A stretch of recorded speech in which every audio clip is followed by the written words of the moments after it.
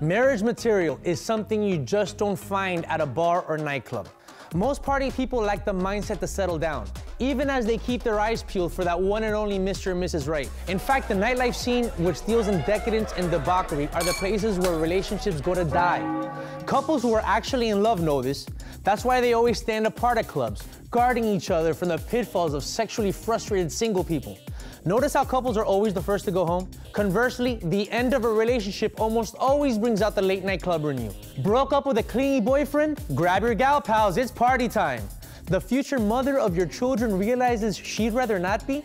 That means a night out with the friends that she always hated. But while nightlife offers an escape from being tied down and often results in getting tied up to things like bedposts, clubs hardly set the stage for the start of a romance.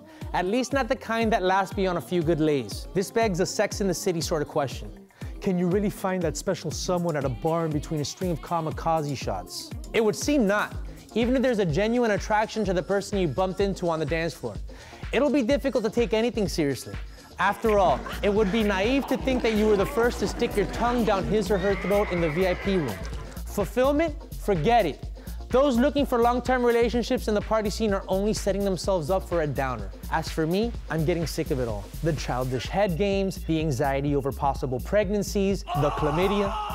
So for those like me who sincerely yearn for an end to mornings where you wake up next to a person you'd never have fucked in the first place if it weren't for an overconsumption of alcohol and maybe some molly, here's a clue. There's a place where singles worth hooking up with can be found on a weekly basis. And it ain't no club. It's the supermarket on Monday nights. I'm serious. Young professionals typically do their groceries after work at the beginning of the week. Don't believe me? Visit the supermarket in a metropolitan neighborhood on any given Monday and you'll find a deli that doubles as pickup central. Number five. Number six. Think about it. What packs more sexual innuendo than asking for a nice cut of ham or beef? I'm hot and bothered just thinking about that moment when somebody is given a slice of lunch meat for a taste test. Oh boy, I need a sandwich.